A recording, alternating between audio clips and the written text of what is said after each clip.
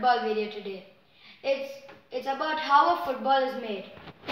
So first, a football is made out of polythenic material. Uh, so it is like a full big sheet and it is softened by glue.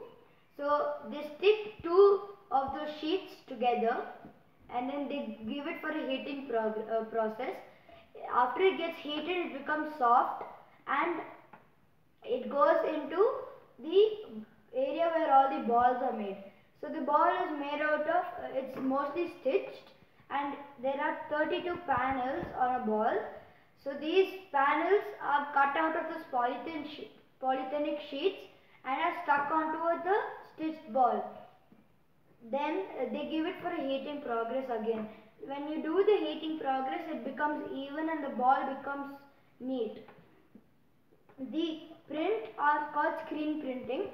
So they design it on a paper and they paint it on on glass. They keep the paper under the glass and a machine scrapes it and the design is come. Then the design also goes under a heating progress. In the heating progress, the design is stuck to the ball. So then they uh, they get the design like this. The machines may, uh, uh, machines are usually used only for heating or uh, stitching. Most footballs are made in Pakistan and China. The World, World Cup football Brazuca was made in Pakistan and this was shocking for me that the Pakistan balls were made only with six panels. They used glue to stick the panels but if they did not stick they used heat. So footballs were made in Pakistan.